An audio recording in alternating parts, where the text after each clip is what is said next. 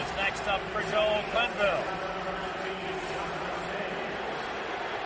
Toews picks up a little speed. And he tied the shootout going five hole.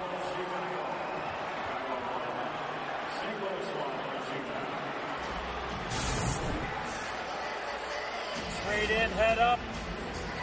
Called it that break between the legs under the blade of the stick. One quick little stick handle.